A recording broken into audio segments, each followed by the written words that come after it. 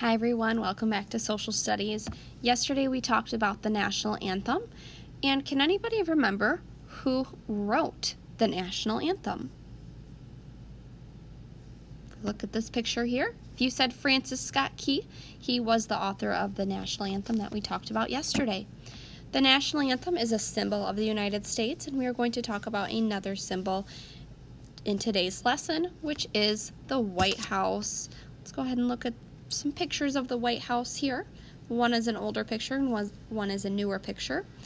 Can you think for just a moment, what is the White House? What is the White House? If you said the White House is where the president lives and it is the president's house, you would be correct. We're going to read a short passage here about the White House. The White House is located in Washington, D.C.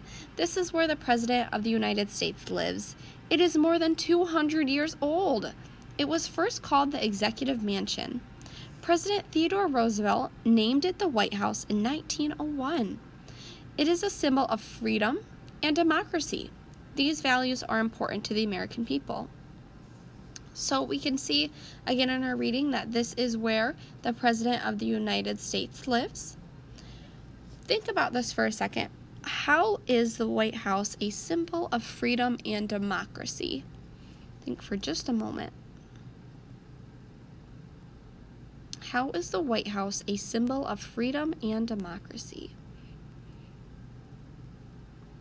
Well, we know a symbol is something that res- represents something else, and democracy is a government which people choose their leaders. And because we are the people, we get to vote who moves into the White House and who is our president, which is a symbol of our freedom. So, as an American citizen, we can view the White House as a symbol of freedom because we are the people who put that person in office with our vote. Right now, who lives in the White House? Correct. President Trump lives in the White House right now. But that could be changing pretty soon. We don't know what's going to happen until the election happens. It's coming up pretty soon here. And it's either going to be President Trump or Joe Biden will move into the White House, depending on who wins. We'll see. But we get to make that choice with our vote.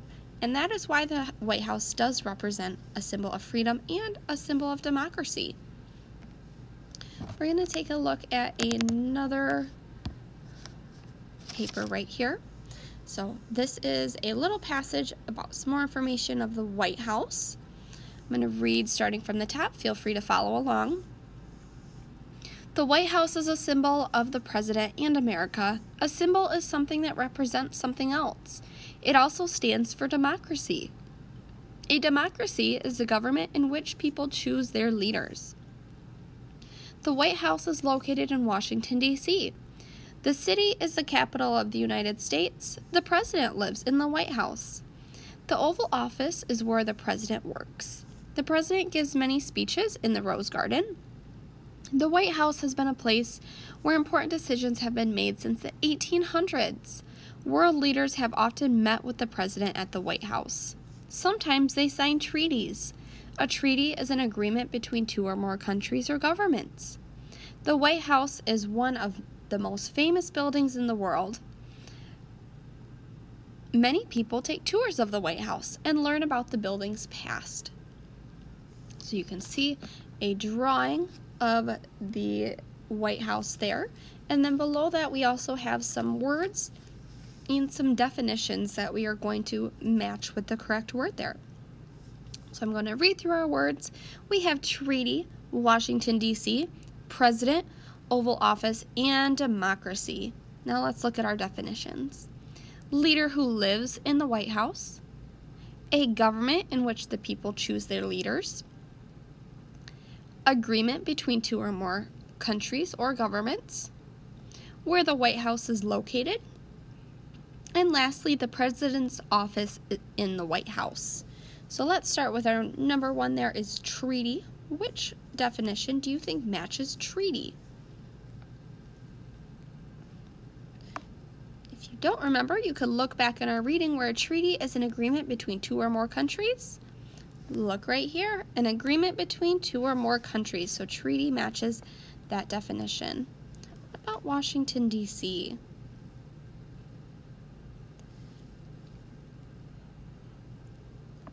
Washington, D.C. is where the president's, the White House is located and where the president lives is Washington, D.C.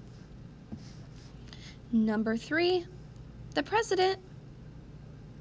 Which definition matches the president?